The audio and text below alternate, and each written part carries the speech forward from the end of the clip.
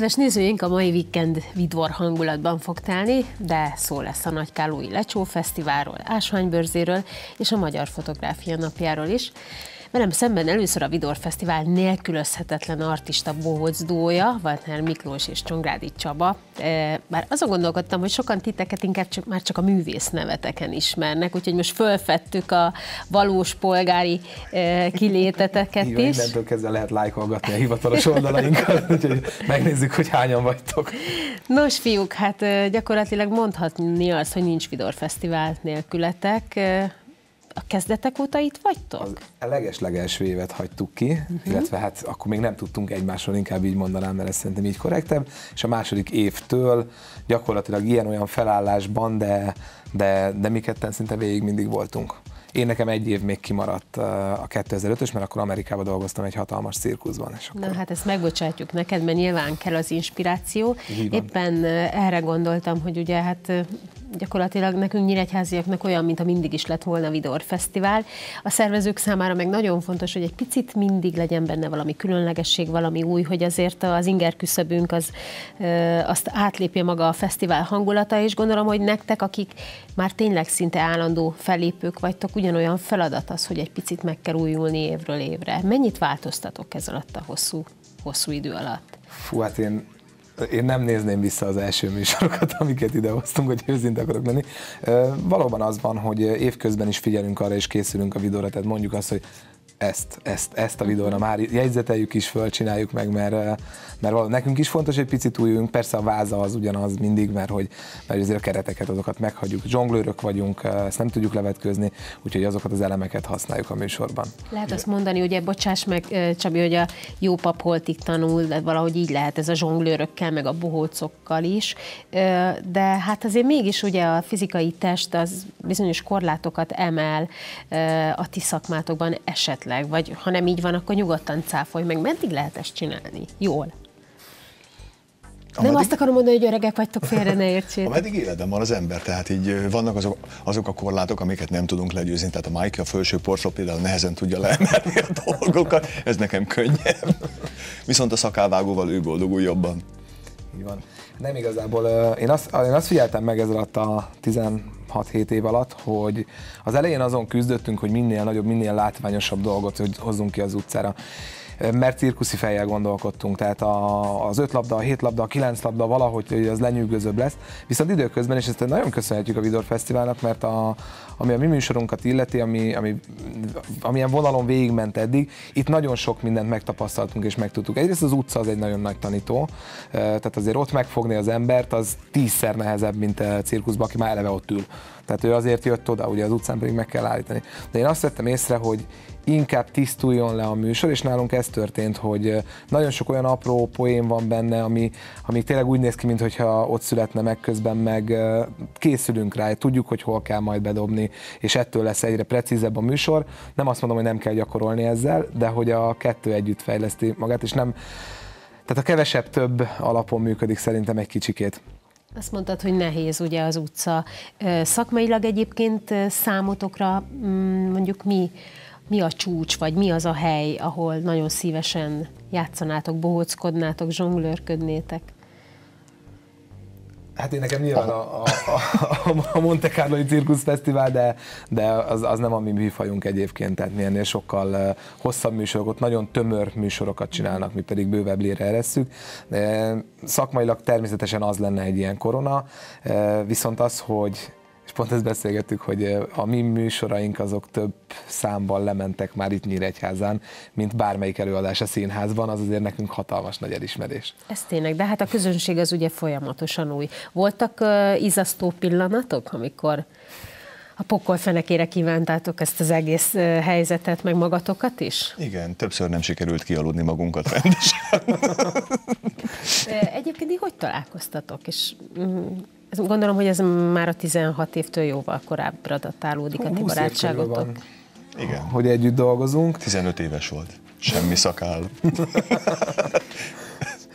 Egy szórakozó helyen Csaba dolgozott, én szórakozni voltam, viszont én is már akkor így ismerkedtem ezekkel az elemekkel, és olyat még nem láttam én, mint ő csinál akkor, hogy tűzzel ugyanazokat, hogy nem hiszem el. Csak megismerkedünk, Így is Ez az ugye egy nagyon veszélyes műfaj, Michael, látszik Mondom. is a kezeden, és hogy megláttalak, felvetődött bennem a kérdés, hogy mi számít nálatok munkahelyi balesetnek, vagy egyáltalán mekkora biztosítást kell fizetni mondjuk nagyobbat, mint egy átlagembernek? Lehetetlen, te ennek egyszer utána jártál. Igen, igen, amikor annó megvettem a lakásomat, és lakáshitelt kellett uh, igénybe venni, mint annyi embernek, akkor uh, szembesültem azzal a problémával, hogy a hitel mellé egy életbiztosítás is kell kötni. És elmondtam, hogy artista vagyok, pirotechnikus, tehát gyakorlatilag folyamatosan ilyen akrobatikus dolgokat kell csinálni, illetve robbanóanyaggal dolgozom. Egyetlen egy biztosító nem akart velem szóba se állni, tényleg. De tehát, azért a lakásod megvan. Abszolút, tehát ez így működik, csak ebből a szempontból nehéz nekünk a biztosításról beszélni, sima életbiztosítással dolgozunk egyébként. A legnagyobb munkahelyi baleset pedig az, amikor mind a ketten egyszerre felejtjük el, hogy mi lesz a következő dolog, amit éppen csinálunk kellene. Az, az a nagy baleset nálunk, hogyha valami nem tudjuk folytatni a műsort, tehát az a nem jó. De volt egy pár éve az egyik kolléganőnk a Kisgabinak, a, a törpe akrobatának a nyakából leesett, és ott el is tört a csuklója. Oké, okay, hogy nem tetszett a, a, a közönségnek, meg hát mindenki megrémült, de nekünk még volt a műsoridőből hátra. És, és, eh, és ott az volt, hogy bevitték ugye a kórházba, én meg maradtam tartani a frontot, és ez a mosolyogva tovább, ugye a showmazgón az nálunk is működik. Mosolyogva tovább végigcsináltuk, meg volt, akkor onnantól kezdve elbúcsúztunk a közönségtől, és azonnal a telefon, hogy mi van a, a kollégánkkal. Annyira jó titeket hallgatni, hogy el is felejtettem, hogy mindenféle kis eszközöket is hoztatok. Hát a legdurvábbakat hmm. hoztuk ma el. Az egyik az idei fejlesztésünk. valamit, fiú. Csaba, légy szíves, az idei fejlesztésünk a tapsgép. A fegyvernek látszó tárgy, Aha. amivel simán bejöhettem a stúdióba. Melyik kamera megy? Az? Igen.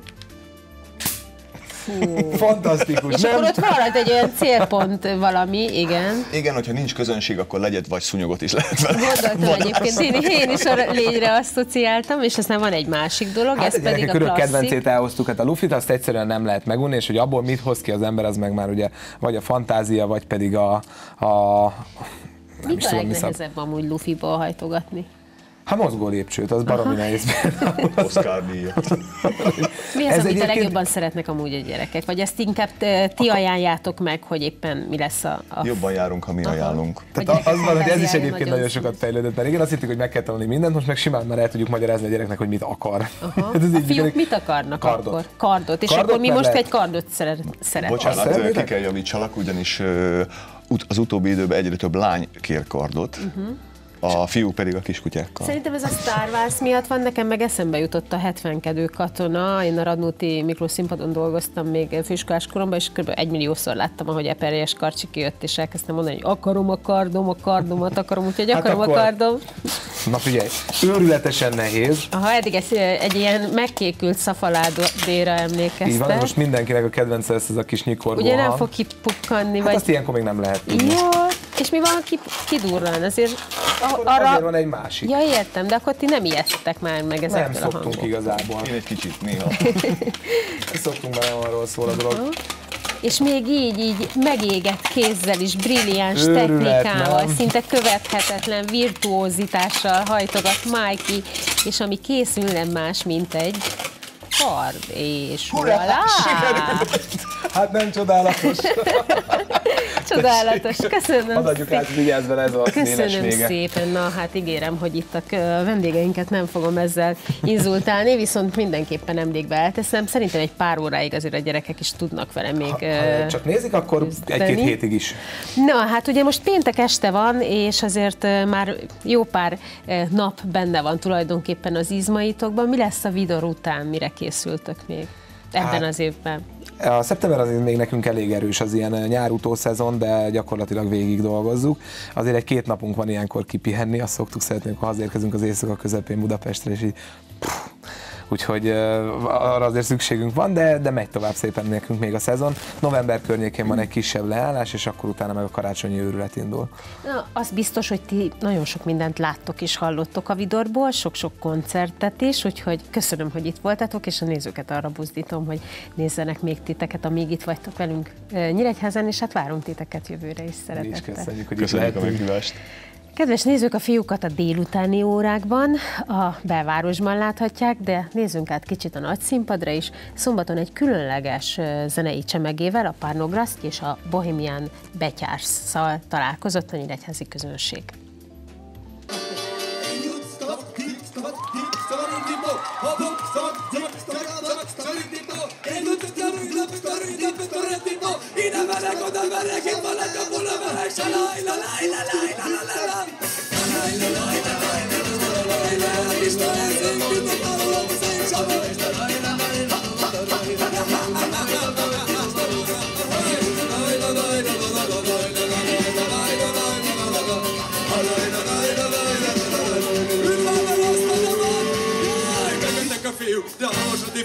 Fiú,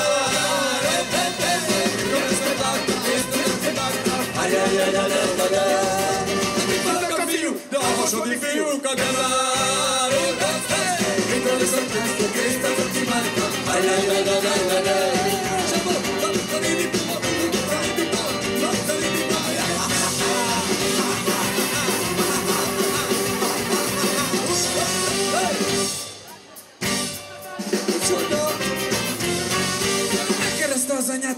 eldugja, vagy hát kezed is meglávad hozzá feles, még ebben a nagyon szeres lányodat hátba, csokolom a szádat. Távolsod a fiú, de már Mikor leszek láttam, pénzt a világtam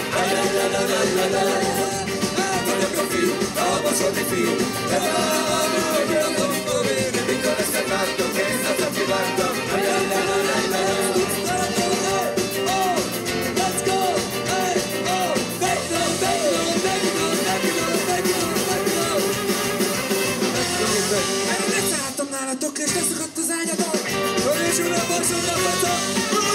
a próbál, ez a mája szátyaga. Sziki, sziki, sziki, sziki, Nekem egy pulykát, egy fehért, egy banát, tudom, a bába pulykát, bele beszél egy.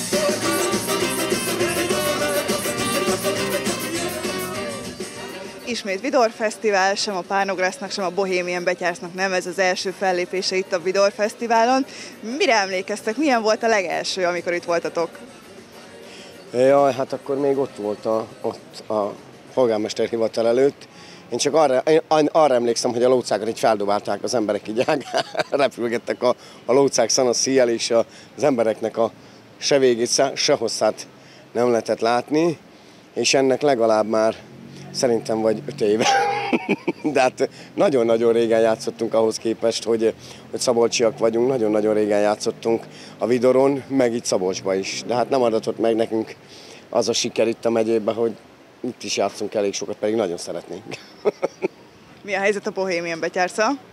Hát most megfogtál, szerintem ilyen két-három éve játszottunk itt, egy ilyen hasonló színpadon, már akkor nézegettem, hogy tök jó az a Vidor Fesztivál, de nem nagyon hívtak minket, és utána egyszer így meghívtak, és egy jó buli volt. Én valami arra emlékszem, hogy esett az eső, és utána, de, de maga a koncert volt valószínűleg fetrengtem a földön, meg felmásztam a színpadra.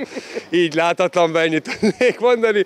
Maga a koncert, az, hát nekünk nem dobáltak fel sajnos padokat, de majd akkor mi dobálunk le nekik dobokat ma vagy saját magatokat ugye a színpadon össze-vissza.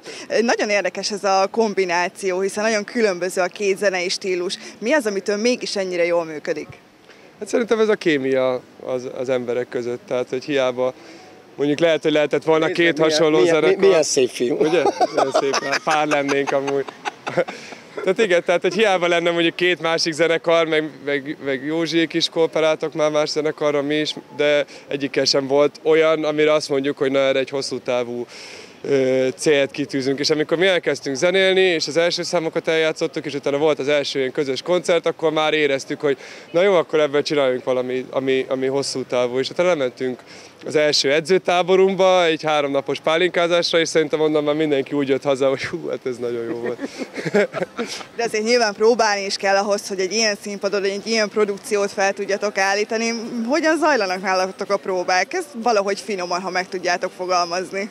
Hát ugye a Parnograszt, az, azt lehet mondani, a Parnograszt koncertek, az a spontán koncertek, mi nem próbálunk a koncertekre, improvi, rengeteget improvizálunk a színpadon, és ugye a fiúkkal a Bohemian Betyárszal ezt nem lehet megcsinálni, mert ugye 12 zenész van a színpadon, és igazság szerint ahhoz egy életkevés, hogy olyan szinten megismerjük egymást zeneileg, hogyha én elpislogom magam, vagy hát elpislogja magát, akkor tudjuk, hogy, hogy mi újság van, hogy merre akarok menni. Ugye mi nálunk, hogy a Parnograsznál családtag, a fiam, a keresztfiam, akik gyerekkoruk óta velünk van, velem vannak, és én neveltem őket, de hát tudják minden lélegzetemet, én is tudom az övékét, de, de igazság szerint mégis, mégis azt mondom, hogy, hogy jól megtanultuk, ezek, hát én azt mondom megtanultuk, mert ezeket meg kellett tanulni, és ugye természetesen velük próbák voltak Budapesten,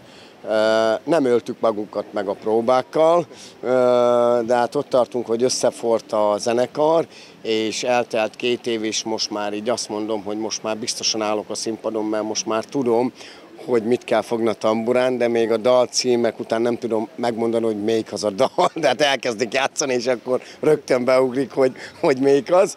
De hát igazság szerint igen, próbálgattunk, és tényleg az volt, hogy a, nyar, a nyárnak is úgy indultunk neki, hogy na, akkor jöjjünk figyük össze, két próbát, menjünk végig a dalokon, és akkor mindenki berögződjön, mert még kell, de hát nem tartunk ott, hogy akkor fiúk most jövő héten ide kell menni, gyertek, és akkor itt csetmintés, és akkor össze tudunk ugrani.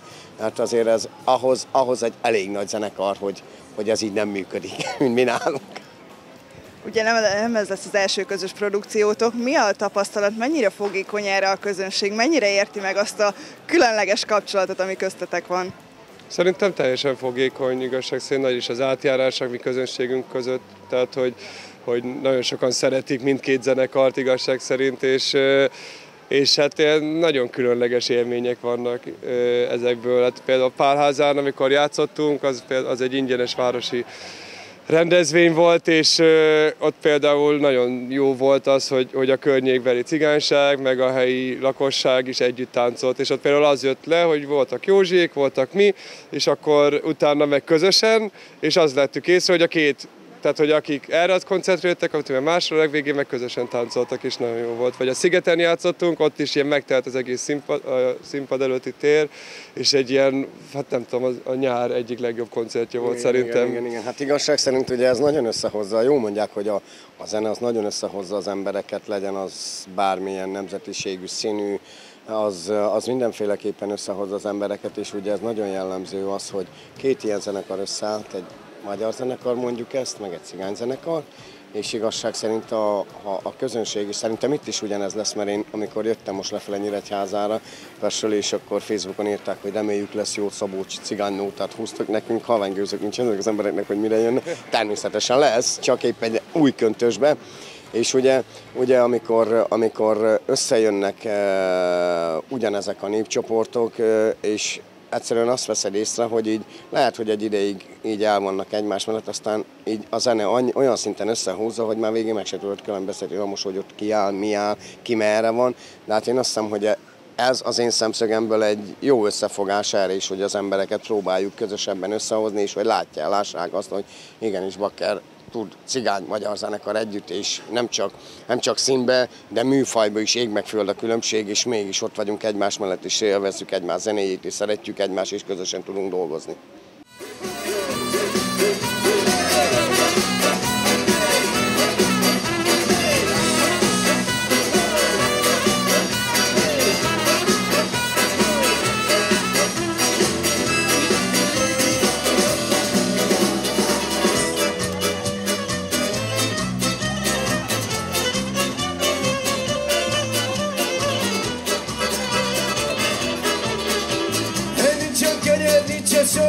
Sincsen jó, hová lett a hónapom, hiszen most már hónapom.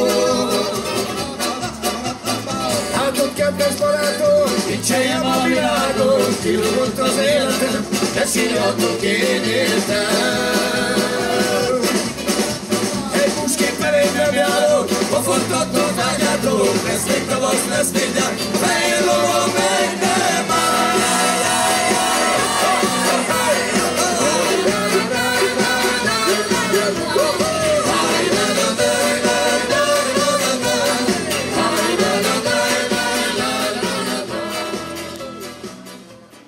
azt már tudjuk, hogy mit érezhet a közönség. Mit éreztek ti a színpadon, amikor igazán elszabadul a pokol?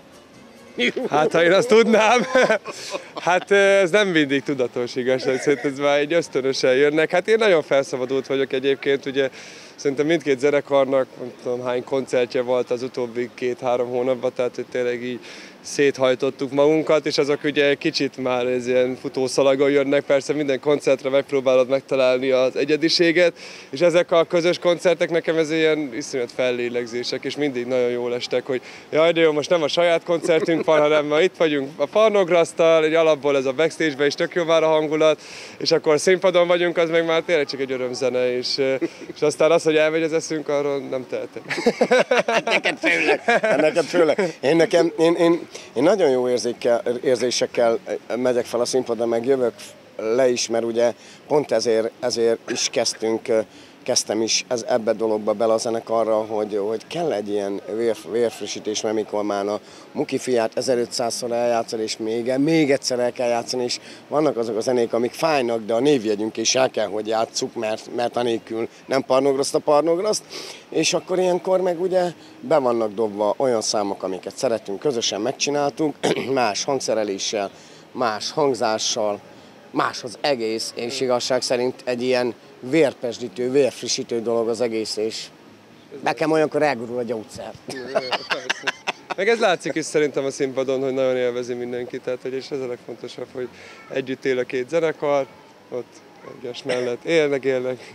Hát igen, mert ugye az első koncerten mizébe mentünk fekete nadrág, olasz cipő, vasaltunk, beálltunk oda színpadra, és így hú, bakker, ez nagyon nem jó lesz, így, így úgy nézünk ki, mint Bódi Guszti kísérő zenekarra. Mondom, ezek meg hogy néznek ki, mondom, hát ez valahogy is próbáltuk a stílus felvenni, és vettem ilyen bohémos inget, meg nadrágot, hogy azért annyira ne üssünk, mert tényleg az volt, hogy így ránk néztek, és így, hú, ha, ez is ez a zenekar. Most már nagyjából vegyünk, már csak a színünk különbözik, de majd azon is javítunk.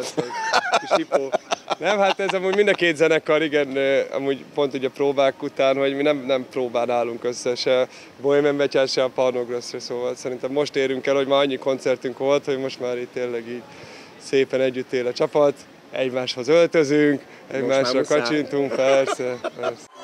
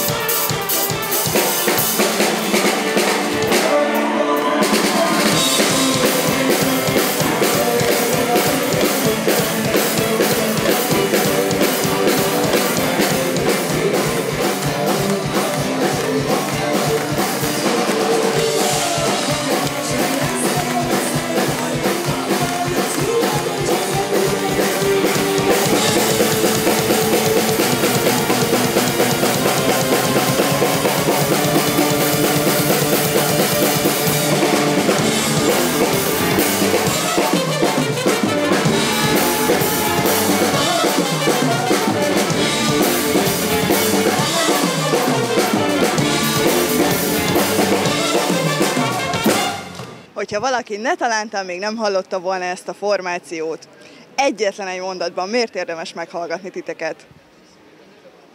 Hát mert a két zenekar energiája a négyzetre lesz emelve, és lerobbantjuk az emberek fejét.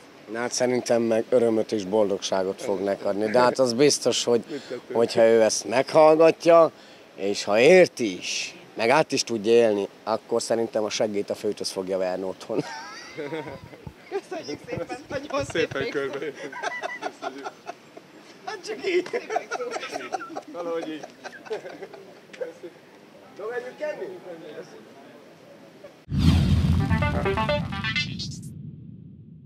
Jó zenével és emberekkel repül az idő, a vikend első részének már is a végéhez értünk. A második részben még egy picit vidorgunk, majd ugyanis Ulma Mónikával és Józan Lászlóval beszélgettünk, aztán egy nyíregyházi fotós lesz a vendégünk a Magyar Fotográfia napja alkalmából. Megnézzünk néhány ásványt, hiszen szombaton és vasárnap is vét ásványbörze a Nyíregyházi Váci Mihály Kulturális Központban, és a Nagykárúi Lecsó Fesztiválról is beszélgetünk, majd maradjanak velünk. Thank you.